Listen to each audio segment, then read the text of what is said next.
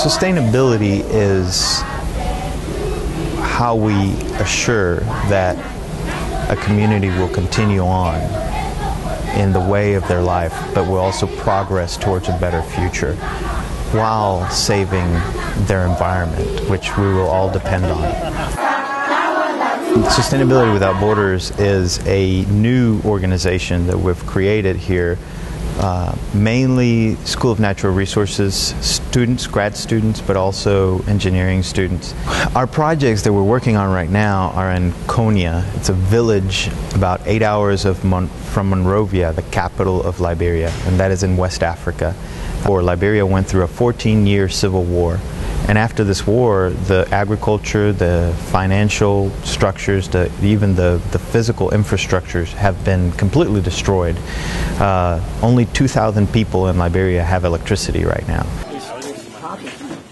Last May, we traveled. There was five students from University of Michigan, as well as some students from Clemson University. And we have teamed up with students from University of Liberia.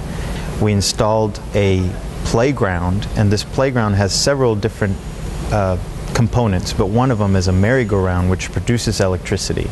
And this merry-go-round is a improvement on some other designs that are out there from other Engineers Without Borders and other organizations.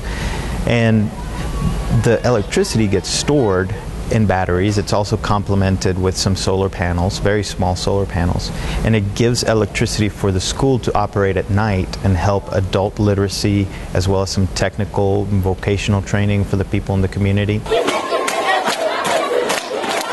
The playground is not just for the kids to play with, but it also it, it, ensures that the students stay in school. It's very hard for parents to send their children to school when they can keep them in the farm.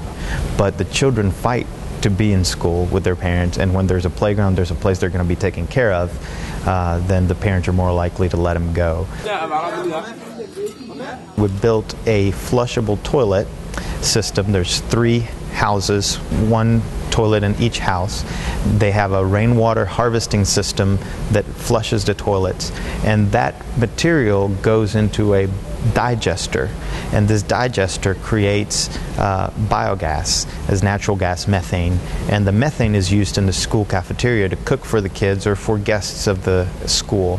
99.5% of the people of Liberia depend on charcoal and wood, which is very bad for the environment, but more for the people who are doing the cooking.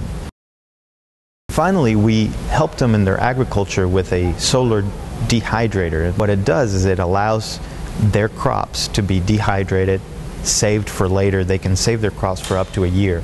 Now, there's no refrigeration here, and so a lot of their crops get lost, especially fresh fruit, which is very important for their nutrition. The reason I started this project is twofold. First, I believe passionately that the developing world needs help from professionals, from engineers, from doctors. And that work needs to be collaborative and it needs to be interdisciplinary and it needs to come from a desire to help the development of those people. Second fold is that as a researcher, I see a big gap in the literature.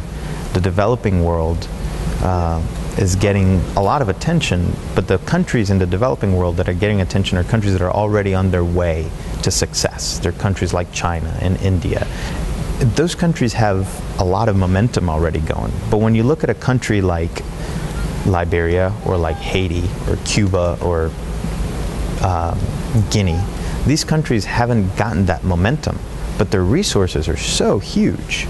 And as a researcher, you have to ask yourself why a country with such resources is not able and, or capable of moving forward in a sustainable economy or with giving their, their citizens a better life. We have a four year commitment to this community. This is very important for our organization. We've seen NGOs go in, get help from an organization, the organization leaves and there's no follow up, and then the project fails. When we go into a community, we have decided we will give them four-year commitment. The first year is a exploratory where we meet with the stakeholders of the community and we decide what projects they want and what projects will contribute the most to their sustainability and to their economics and to their social well-being. And then the next years are implementation and follow-up on training and data collection. So there's no cure-all for development. You have to be involved with the community first and then use the data that you have available to help that community go forward with a development plan.